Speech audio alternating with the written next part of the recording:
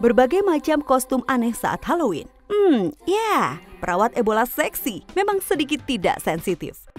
Kami tidak mengeluh tentang perubahan persepsi Halloween dari menakutkan menjadi seksi, bajak laut seksi, polisi nakal, Ray jadi yang tidak compang-camping, dan ya, aku akan mencari Nemo ini. Saya tidak cukup yakin apa yang mengilhami pakaian ini. Dan tentu saja, jika memakai telinga kelinci, kostum apa pun segera menjadi kostum Halloween.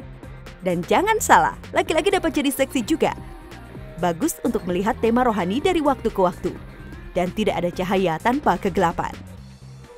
Tentu saja ada orang-orang yang memiliki rasa humor yang berbeda atau tidak mau terjebak dengan stereotip tertentu. Sindiran sosial ini menarik, tapi Anda mungkin tidak akan terkejut jika beberapa orang tidak memahaminya. Dan aku tidak benar-benar yakin apakah Osama seksi ini ide bagus. Tapi pemenang kostum teraneh adalah perawat Ebola seksi. Ribuan orang tewas di Afrika Barat. Ya ampun, kami mengatakan tidak pada kostum perawat Ebola seksi, namun setidaknya klub ini menyumbangkan hasil acara Saturday Night Ebola Fever mereka untuk amal.